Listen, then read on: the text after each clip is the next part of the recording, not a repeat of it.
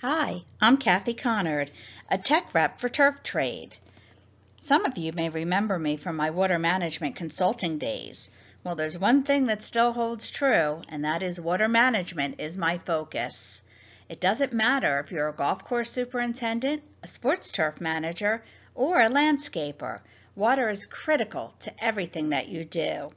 For those of you that are dealing with water movement or water management problems, I'm going to show you how you can conduct a water drop penetration test.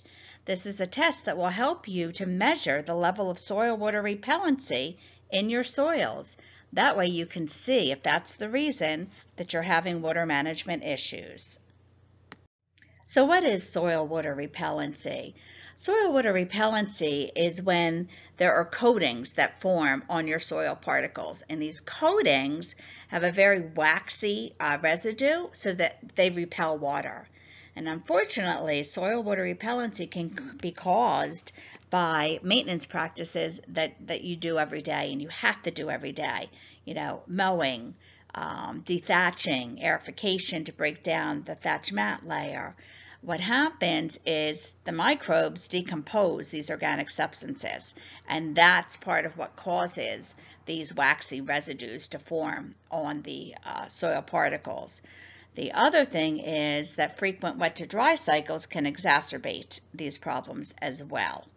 Um, so if we tend to have a you know very wet spring and then go into a very dry summer and, and uh, you know we go back and forth between the wet to dry, this can also exacerbate uh, soil water repellency on the soil particles. Soil water repellency has a very negative impact on how water, nutrient, and soil sprays not only move into the soil, so off the surface and infiltrate into the soil, but also how they get distributed throughout that root zone. You have a non-uniformity because, again, parts of the uh, soil have these water repellent particles and parts may not. It also impacts drainage. Rarely do we see no soil water repellency um, within a soil. Typically, there's, you know, from minor to severe. Um, cases where you may see a, a clean soil particle, um, possibly if it's a, you know, new property, 12 months, 8 to 18 months um, old um, and, and it, the soil water repellency that the waxy residues haven't had a chance to build up, possibly. Um, but in, in most of the properties that I've worked with, um, there's been some level of soil water repellency.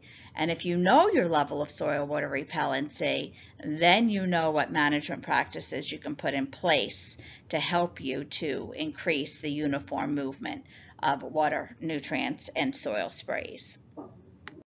Before you pull your soil cores, you're going to need a few tools to help you conduct the water drop penetration test. Of course, you're going to need your soil probe. You're going to need a metal tray. Um, I just use a cookie sheet. That's what you're going to dry your uh, soil cores on. You need a pipette. You need distilled water. You need a stopwatch. I just use my cell phone for the stopwatch and you're going to need a notebook to record your results. Now here comes the fun part. Divide the area up that you're going to test into a grid. Then pull at least four cores from each area of the grid.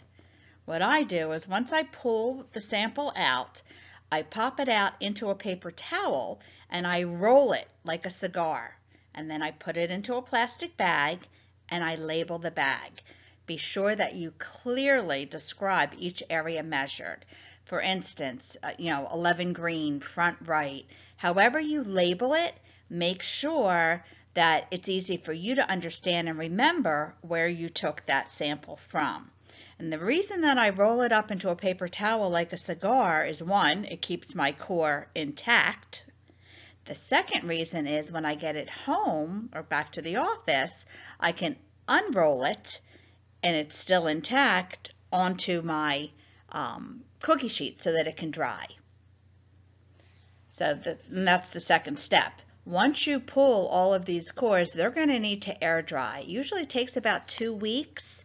Um, if you haven't recently sprayed chemicals, and you have an oven available, that'll speed up the process because you can oven dry it and that will only take a couple of hours. Um, but it's very, very important before you start the testing for these soil cores to be extremely dry.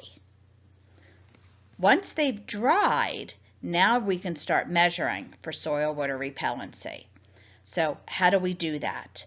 We take the pipette and we take the distilled water and you're going to drop one milliliter droplets of distilled water on each core. You're going to start at the turf canopy and you're going to work downwards and you're going to measure every half a centimeter. So what you're going to do is you drop one drop at the top of the turf canopy. You're going to hit the stopwatch and you're going to sit there and wait till that drop completely goes into that soil core. And then you're going to record the time in seconds that it took that droplet to infiltrate the surface. Now, if you have severe water repellency, don't be surprised if you're sitting there for a minute, two minutes, even longer. Um, this is the most tedious part of the water drop penetration test is watching those drops of water and waiting for them to go in and not taking your eye off the clock. Make sure you record your results after each drop goes into. Um, and what I do is I, I just set up a grid. Um, once again, I, you know, you set up like a little spreadsheet, and that way it's easy to put the numbers in and then go back and take a look at them. So once you have all the measurements now recorded, we can go and take a look at what do those numbers mean. Here's a chart that will help you translate the results that you got. And what I do, especially if you end up um, setting up a spreadsheet in Excel, with, you know, and, and putting all those numbers that you recorded into Excel, I color code them. So all of my soil cores that are wettable, less than five seconds. Water went in very quickly. You know, maybe I'll make them, you know, blue. Um, those that are slightly water repellent, you know, five to 60 seconds it took for them to um, wet up. You know, maybe I'll make them green. Um, so you get the idea, you know, strongly water repellent, you know, maybe they're yellow, severely water repellent, maybe they're red.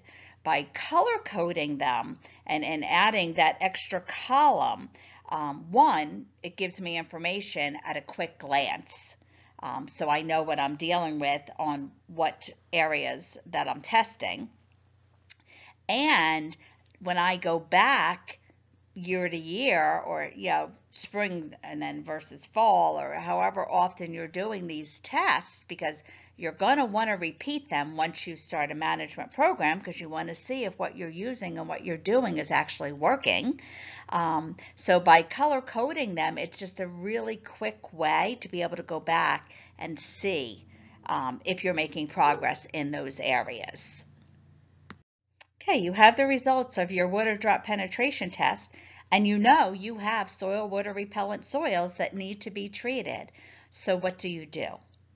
Well, there are chemical solutions. Um, the first thing that comes to people's minds are soil wetting agents um, because they help to attach to water repellent uh, soil particles, creating attachment sites for water now to adhere to those soil particles. But there are so many soil wetting agents available out there, so you need to make sure you have the right one for your specific uh, situation. And I'm actually working on a presentation on how to determine which is the best uh, type of soil wetting agent for your um, for your specific uh, situation. So be on the lookout for that one. Um, you can also add uh, carbon. There are lots of carbon-based soil amendments that are available. Carbon does help to increase the water holding capacity of soils. Uh, humic acids do the same. Uh, but what if your soil water repellent problems and your water movement problems are being caused because you have a sodium issue in your soils. So it's being caused by the salts. Um, in that case, you may need a calcium sulfate or gypsum. Um, there's also synthetic acids for those of you dealing with poor water quality in your bicarbonates, and um, that's what's causing some of your water movement problems. you may want to look into the synthetic acids that are available. Um, don't forget that you don't just want to use a chemical solution. Cultural solutions are just as important. Um, when you're dealing with water repellent soils, water takes the path of least resistance. So it's going to go down and through the areas that are very easy uh, for it to get through, which will cause an imbalance in your air to water ratios in the soil. And if you have too much air or too much water um, and you have that imbalance, you're not going to have a very good uh, environment for, for growing. So it's very important to make sure that you're still aerifying. Um, if it's in the middle of the season, you, you can't go big and you can't go deep. I get that. But if you can needle tine, um, so very important. Um, so aerification, top dressing, um, you know, make sure that those practices are incorporated in uh, to what you're doing if you're dealing with, with water repellent soils. And there are other ways that you can test as well to make sure that water is going where you need it to go. And that's not just with um, the water drop penetration test, because as, as you saw, if you do have um, moderate to severe soil water repellency, it is very time consuming to do these tests. But if you have a TDR moisture meter, um, a great way, again, for you to uh, be able to see what the moisture levels are. And the new 350s now test for salts as well. Um, so you you can you know take a look at that you know in the spring in the summer you know are there changes um, and make sure you are getting your soil and water tested both chemical and physical because sometimes the water management problems can be because of a physical problem or can be because of a chemical problem. You know, salts are high, bicarbonates. So good information to have so that you can put together all of the different results and all of the different, um, you know, your different findings throughout your property to see what actually is causing your um, water movement problems because it may be a combination of soil water repellency and something else. Thank you so much for listening. If you have questions on this presentation or would just like to talk to me about some of your water management problems, please feel free to give me a call or text me at 609-477-0471. You can also shoot me an email at kathyc at theturftrade.com. If you're interested, I have other presentations on YouTube as well on amino acids. I welcome you to take a look at them. Thank you.